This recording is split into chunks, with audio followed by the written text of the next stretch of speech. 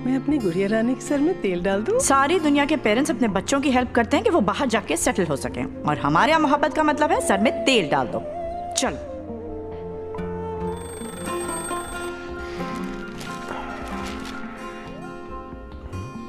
अब्बा के पास इतने पैसे? अब्बा अपने घर क्यों बेच दी जहाँ रिश्ते कमज़ोर हो जाएँ, वहाँ घर टूट जाते हैं। ऐसे टूटे हुए घर का मुझे क्या करना है? आप जरा रिश्तों को मज़बूत कीजिए। घर की दीवारों और छतों को तो हम मज़बूत बना ही देंगे। मॉडल स्टील, आओ एक मज़बूत घर बनाते हैं।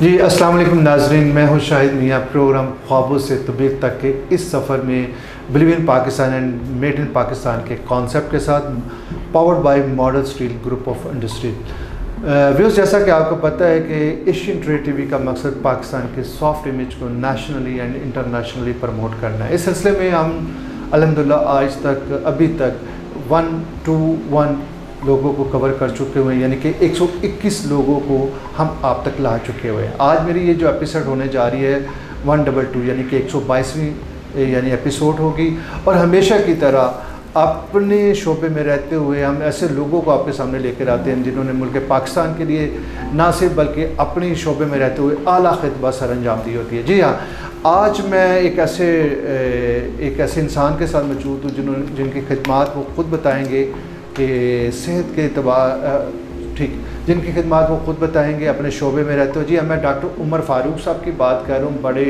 ही फ़ेमस पाकिस्तान का एक बहुत बड़ा नाम है। बहुत फ़ेमस न्यूरो सर्जन और न्यूरो कंसल्टेंट है L G H hospital Lahore General Hospital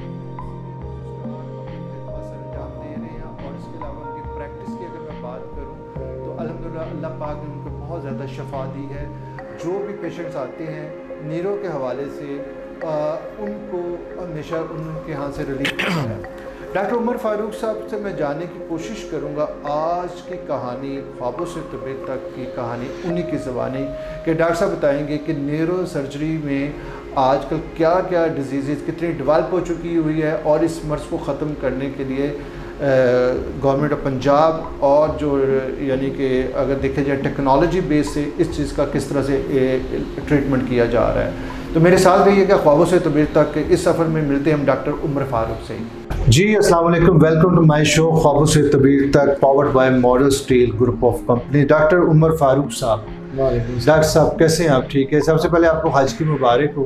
doctor साहब जैसे कि मेरा फॉर्मेट है ख्वाबों से तबीर तक सबसे पहले मैं आपका जानना चाहूँगा कि डॉक्टर उमर फारूक हैं क्या? और आपकी अकेडमी यानी कि जो जो परफॉर्मेंस रही है जो जो आप थोड़ा सा खुद ही बताएँ और फिर हम आपके जो करंट पोर्टफोलियो है, उसके ऊपर आए। Please thank you very much जी, आपने मुझे अपने प्रोग्राम में बुलाया। सबसे पहले ये है कि मैं इस time as a neuro surgeon Lahore General Hospital में तैनात हूँ। पिछले आठ साल से मेरा इसी फ़ील्ड से रिलेटेड सारा काम है, जो कि मैं अभी तक करता आ रहा हूँ। दूसरा ये कि मेरी बेसिक्स वैसे तो पिंडी से हैं। मैंने वहाँ से पढ़ा हूँ। ग्रेजुएट में पिंडी का हूँ, फिर मैंने हाउस जॉब अपनी जिना में की। फिर उसके बाद जो पोस्ट फेलोशिप आपने करनी होती है वो मैंने सारी ये जनरल हॉस्पिटल से दी है। और पिछले तकरीबन 2014 से ऑनवर्ड्स मैं अभी तक जनरल हॉस्पिटल में और इसी शोबे के साथ हूँ और अपनी खदमात अंजाम दे रहा हूँ। इसी से रिलेटेड सारा कुछ तो डॉक्टर साहब आपने यानी कि लाहौर में यानी कि सारी एजुकेशन वगैरह आपकी हाँ का यानी कि based in Lahore? Based in Lahore. यानी कि अभी तक स्टिल अभी तक स्टिल अच्छा डॉक्टर साहब ये जो आपका है यानी कि जिसमें आपकी स्पेशलाइजेशन नीरो एंड स्पाइन ये डिज़ीज़ बहुत ज़्यादा बढ़ती जा रही है, ठीक है? अब इसके ऊपर थोड़ा सा बताइएगा कि ये नेरो और स्पाइन इसका कम्बिनेशन क्या है आपस में? और कैसे इसको आप रिलेट करते हैं? और ये है क्या? थोड़ा सा इस डिज़ीज़ के ऊपर डिटेल से बताइए। बेसिकली ये नेरो स्पाइन को रिलेट इसलिए हम करते हैं क्योंकि जो हमारे न्यूरॉन्स होते हैं, वो ऑल ओवर द बॉडी जाते हैं।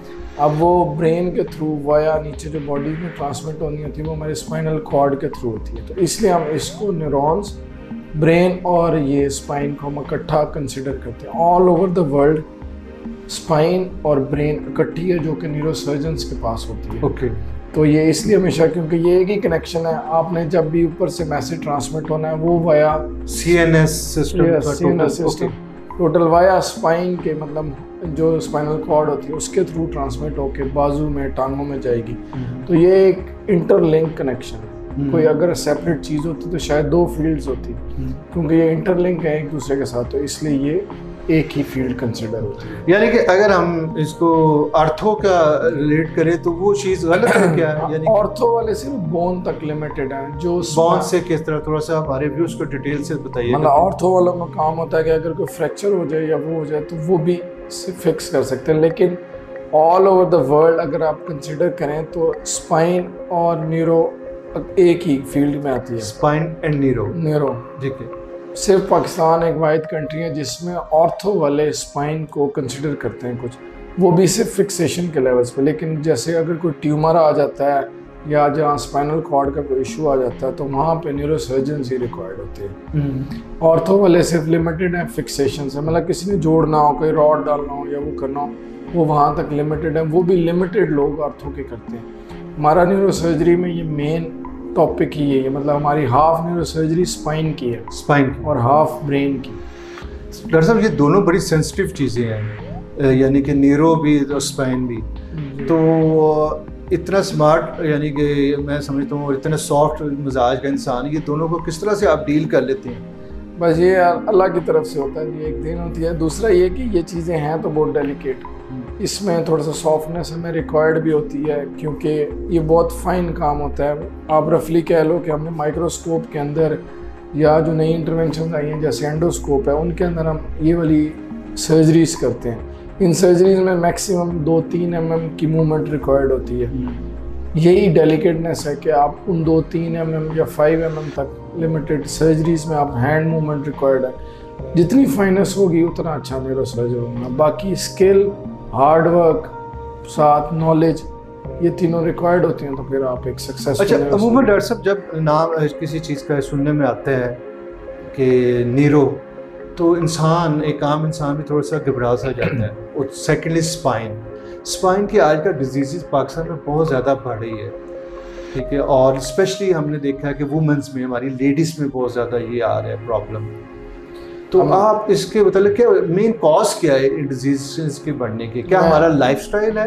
कि हमारा डाइट प्लान है, ये थोड़ा सा बताइएगा प्लीज़ जो स्पाइन से रिलेटेड चीज़ें ना, वो ज़्यादा लाइफस्टाइल पे आ जाता है कि अक्सर लोग अब ट्रेंड चल गया जैसे हमारा सॉफ्टवेयर का या ये आईटी डिपार्टमेंट में। आप 24 फोर आवर्स के लैपटॉप के आगे एक चेयर पे बैठे होते हैं, जिससे आपके पोस्चर्स भी ख़राब हो जाते हैं। गर्दन का भी एंगल चेंज हो जाता है, पीछे स्पाइन का भी एंगल चेंज हो जाता है। एक्सेसिव इसी तरह बैठ बैठ के इन दोनों के एंगल्स जो चेंज हो जाते हैं उसकी वजह से जो डिस्क हर्निएशन होती है मतलब मोरों के दरमियान में डिस्क होती जी जी गैप जिसको आप जो गैप कहते हैं वो कम हो जाता है और वो जो डिस्क होती है स्लिप होकर स्पाइनल कॉर्ड को कंप्रेस करती है। जिसकी वजह से फिर कंटिन्यूस पेन या कमर का दर्द मोरों का दर्द जिसको शैटिका भी आम अल्फाज में बोलते हैं वो शुरू हो जाता है। साथ गर्दन का हो तो ये बाजुओं में नमनेस होगी इधर सारी पेन वगैरह, ये डेविएशन हो जाती है। गर्दन में चक्कर आना, ये वाले मामला शुरू हो जाते हैं। और जो ये बेसिकली हमारे लाइफ स्टाइल से ज़्यादा रिलेटेड है डाइट के भी ऑब्वियसली इफ़ेक्ट हैं। पहले डाइट अच्छी होती थी, अब हमारी डाइट भी इतनी अच्छी नहीं है कि बंदा कहे कि कोई बहुत सॉलिड चीज़ें खाते हैं तो। तो ये वाले सारे एस्पेक्ट्स हैं। जो ब्रेन है उसको हम इसलिए कंसिडर इतना अच्छा नहीं करते थे। पहले ज़माने में हमारे पास इंटरवेंशन नहीं थी। मतलब सी स्कैन लेट होता था एमआरआई का लेट जाके पता लगता था। अब वो वाली चीज़ें नहीं हैं। अब हमें एम आर तकरीबन हर शहर में मिल जाता है। सी स्कैन भी आम छोटे छोटे शहर में अवेलेबल है। तो अवेयरनेस ये प्रोग्राम करने का एक मकसद ये है कि लोगों को अवेयरनेस अवेयरनेस मिलेगा। कि अगर कोई हेडेक है किसी को कोई चक्कर आते हैं कोई उल्टियाँ करता है वॉमिटिंग कर रहा है नोजिया रहता है या किसी को दौरे पड़ते मिर्गी के तो वो इस चीज़ को ऐसे ही लेके ना लटके। मतलब रैंडम बस हकीम के पास चला गया या मेडिकल पेन किलर ले ली वक्त तौर हाँ पर मेडिकल स्टोर। पे चला गया उधर से पेन किलर ले ली वॉमिटिंग की दवाई ले ली ये वाली सारी चीज़ें ले ली। तो वो चीज़ें इन जो अब नई इंटरवेंशन है सी टी के आपको फ़ौरन हम रफली कहते हैं कि अगर आपको पंद्रह दिन या महीना लगातार ये वाली चीज़ें आने शुरू हो जाएँ तो हम कहते हैं कि या सी टी स्कैन करा लें या एम आर आई करा लें ताकि अगर कोई शक है तो वो हमारा दूर हो दूर हो जाए। पहले ज़माने में डर इसलिए बैठता था कि लोग ऐसे ही चलते जाते थे वो लंबा लंबा अरसा कोमा चलता रहा या कोई भी मसला प्रॉब्लम चलता रहा। ट्यूमर को लेके लंबा लंबा अरसा चलते रहते थे तो उस वजह से ये सारा इशू डॉक्टर साहब, ये बड़ी इंपॉर्टेंट बात की है आपने, इसके ऊपर हम मज़ीद बात करेंगे, लेकिन इस वक्त हमारा एक ब्रेक का टाइम हुआ है। जी जी नाजिन आप देख रहे हैं कि डॉक्टर उमर फारूक साहब, जो कि कंसल्टेंट है और सर्जन है न्यूरो सर्जन न्यूरो के और स्पाइन के स्पेशलिस्ट हैं इनके साथ बात करेंगे हम आफ्टर दिस शॉर्ट ब्रेक कि अब लाइफस्टाइल जो हमारा हो गया है, इस लाइफस्टाइल को अच्छा किस तरह से किया जा सकता है? और क्या ऐसी चीज़ें अपनी रोज़मर्रा की लाइफ में हम लेकर आए जिससे ये प्रॉब्लम से लोगों को छुटकारा मिले? हम मिलते हैं आफ्टर दिस शॉर्ट ब्रेक नमाज़ बैठ के पढ़ें, सीढ़ियाँ कम से कम चलें, कोई झुकने वाला काम ना करें, कोई हैवी वेट ना उठाएँ झुक के। तो ये सारे मामला होते हैं जो हम सीक्वेंस वाइज पेशेंट को बताते हैं। फिर उससे ये होता है कि वो कभी पहले में ही बेहतर हो जाएगा, कभी दूसरे में, कभी तीसरे में। वेलकम बैक नाजरीन ख्वाबों से तबीर तक इस सफ़र में दोबारा से मैं खुश आमदेद कहता हूँ आपको। और इस वक्त मेरे साथ मौजूद है डॉक्टर उमर फारूक साहब, जो कि बड़े फ़ेमस पाकिस्तान के न्यूरो सर्जन भी है और स्पाइन स्पेशलिस्ट भी है। डॉक्टर साहब डॉक्टर साहब, आपसे भी बात हो रही थी कि लाइफस्टाइल इसमें बहुत इंपॉर्टेंट है और डाइट भी काफ़ी हद तक, ठीक है? डॉक्टर साहब, एक हेल्दी लाइफस्टाइल क्या होना चाहिए आपके ख्याल में, जिससे इस प्रॉब्लम से क्योंकि मुझे पता है कि ये प्रॉब्लम एक ऐसी है कि जिसके साथ ये गुजर होती है वो वही बेहतर समझ सकता है इसका। बहुत ही तकलीफ़ देही अमल होता है। तो आप मुझे थोड़ा सा बताइए कि हेल्दी लाइफस्टाइल क्या है जिसको अपनाते हुए इस बीमारी से अवॉइड किया जा सकता है? देखिए हेल्दी लाइफस्टाइल में यह है कि एक तो जॉब डिस्क्रिप्शन है ना जैसे कुछ लोगों का बैठने का ही काम है। एक तो चलें जो रूटीन में आगे पीछे चलते हैं वो उनका एक और मसला है। जैसे अब आईटी डिपार्टमेंट हमारे पाकिस्तान Mostly में वो बहुत बैठने का मोस्ट 10 to 12 आवर्स की जॉब की की जॉब है। उसमें यह है कि अब जब आपने बैठना ही है तो आप अपने लिए कंफर्ट जोन पैदा करें चेयर अच्छी लें।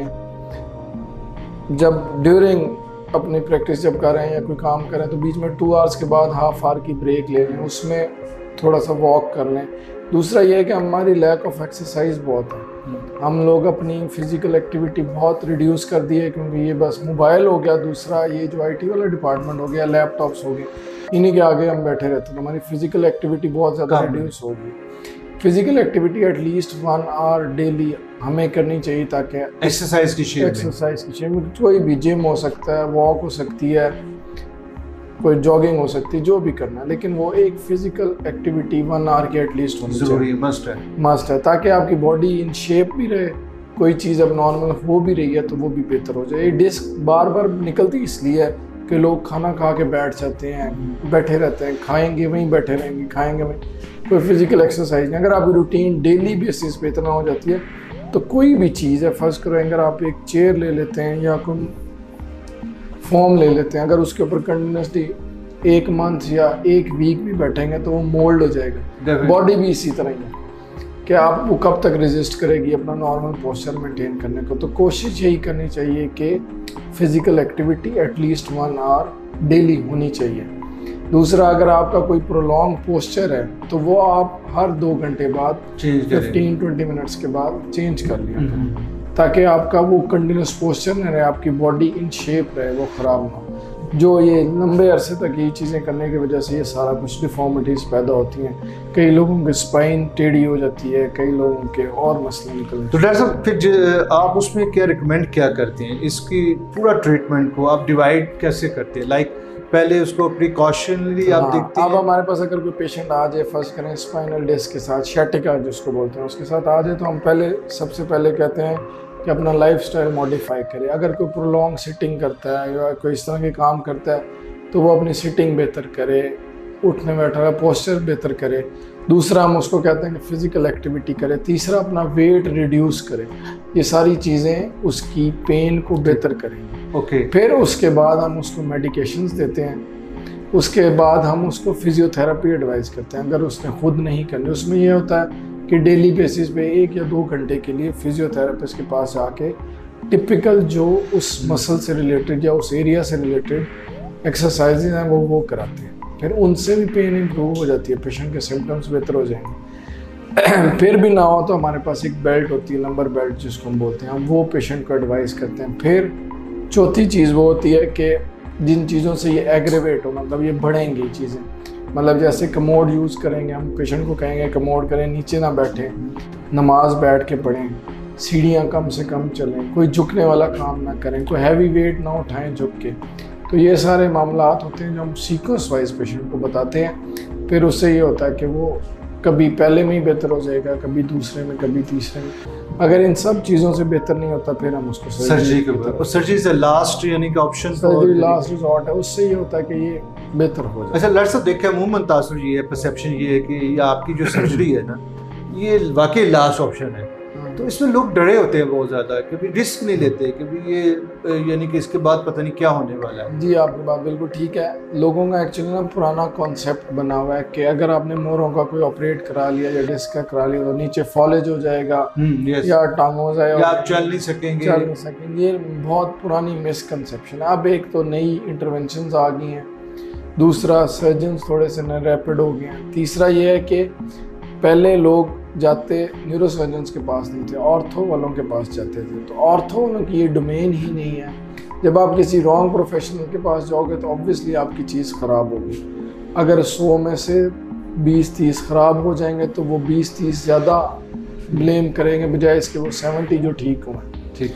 तो पहली चीज़ ये है कि आपके पास प्रोफेशन वाला सही चूज़ करना है कि किसके पास जाना है न्यूरोसर्जन के पास आना है ऑर्थो वाले के पास नहीं। दूसरा ये कि पहले कॉन्सेप्ट और होते थे अब कॉन्सेप्ट और होंगे। अब सर्जरी इजी होगी गैजेट्स इंस्ट्रूमेंट्स हमारे नए आ गए हैं जिसकी वजह से जैसे हम माइक्रोस्कोप यूज़ कर लेते हैं लूप्स यूज़ कर लेते हैं तो पहले ये चीज़ें नहीं होती थी। तो वो ब्लाइंडली और चीज़ होती है एक फोकस्ड काम करना वो और चीज़ होती है। तो ये सारे इसका मतलब सर्जरी से घबराना नहीं हाँ को यानी मैं तो अब किसी को रिकमेंड नहीं करता कि सर्जरी कराएँ? नहीं कि ना ना करो। करें ओके मतलब सिक्स मंथ्स का टाइम पीरियड या फोर मंथ्स का टाइम पीरियड देता हूँ कि आप अपने ये सारी चीज़ें दूसरी वाली को कर लें। फिर उसके बाद अगर इनसे बेहतर नहीं होती तो फिर सर्जरी तो डॉक्टर साहब फिर आपका एक्सक्लूसिवली मैसेज ये है कि लोगों को सर्जरी से घबराना नहीं चाहिए।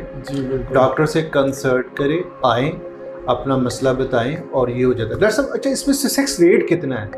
Success rate during this surgery complications वगैरह ये बड़ी इंपॉर्टेंट चीज़ है। देखिए सक्सेस रेट ना कोई भी सर्जरी करें तो 100% आई नो नहीं hundred. Percent three two five percent risk होता है। कुछ एनेस्थीजिया की कॉम्प्लिकेशन हो सकती है कुछ सर्जन की हो सकती है उसमें इन्फेक्शन हो सकता है।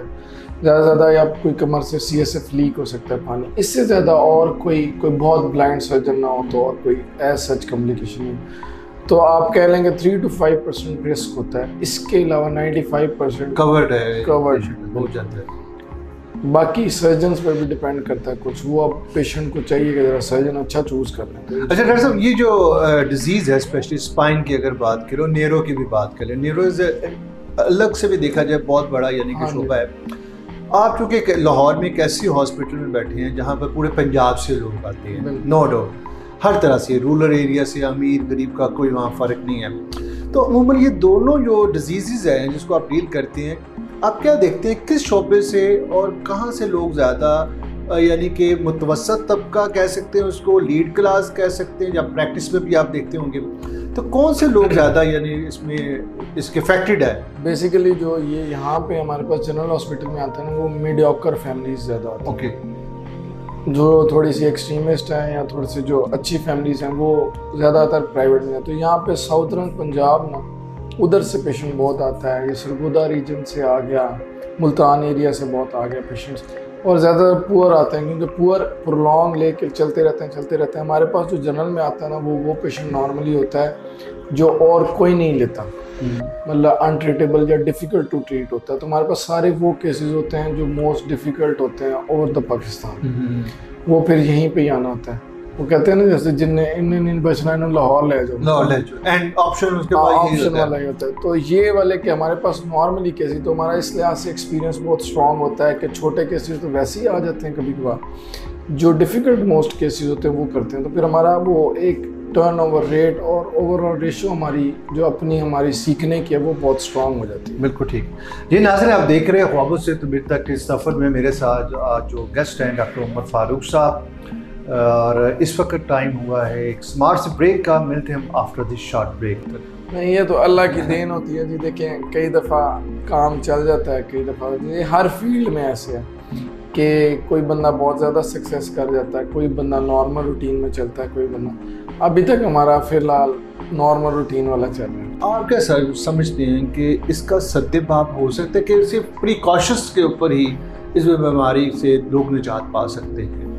एहतियात। सबसे ये बेसिकली लीड कर सकता है एहतियात में। जैसे हमारे पास कुछ पेशेंट्स आते हैं जो नस फटे के साथ आते हैं मतलब बीपी उनका बहुत ज़्यादा हो जाता है। अब वो चाहे सोच सोच के हो जाता है कोई स्ट्रेस ले के हो जाता है या वैसे ख़ानदानी भी कई लोगों को ब्लड प्रेशर का मसला होता है।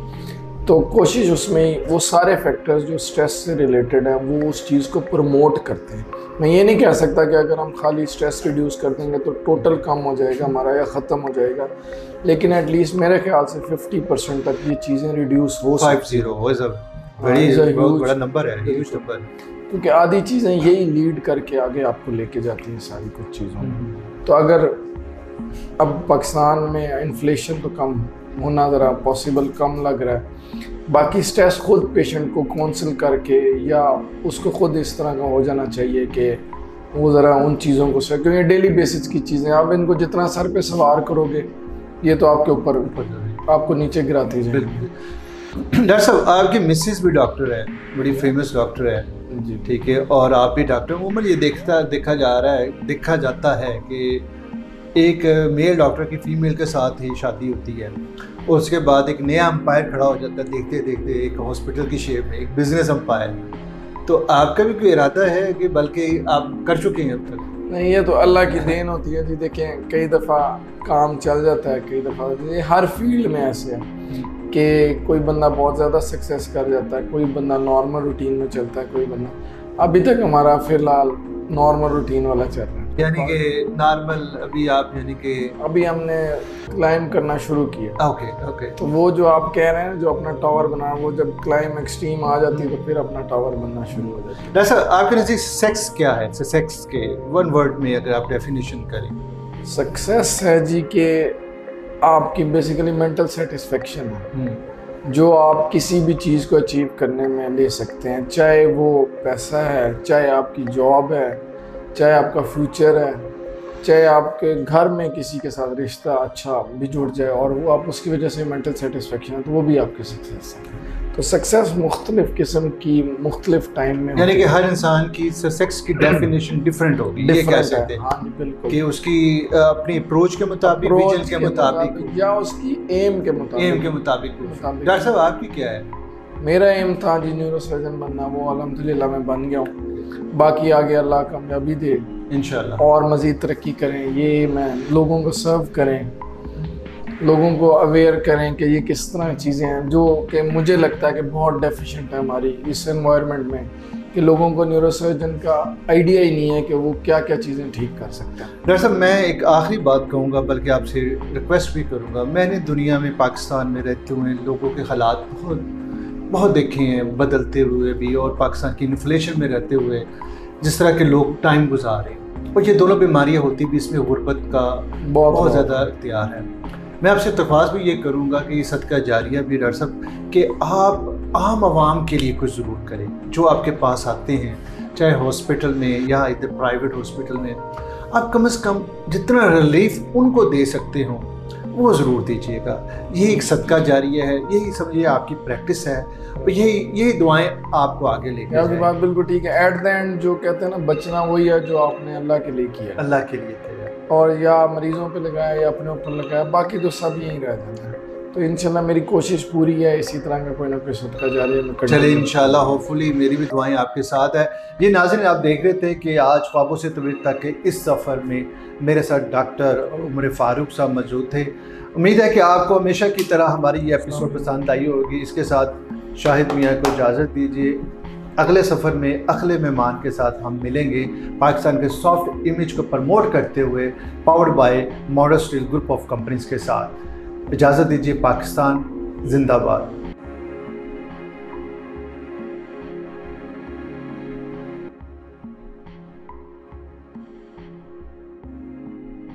मैं अपनी गुड़िया रानी के सर में तेल डाल दूँ? सारी दुनिया के पेरेंट्स अपने बच्चों की हेल्प करते हैं कि वो बाहर जाके सेटल हो सके। और हमारे यहाँ मोहब्बत का मतलब है सर में तेल डाल दो।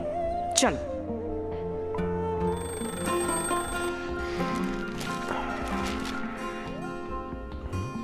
अब्बा के पास इतने पैसे? अब्बा आपने घर क्यों बेच दी? जहाँ रिश्ते कमज़ोर हो जाएँ, वहाँ घर टूट जाते हैं। ऐसे टूटे हुए घर का मुझे क्या करना है?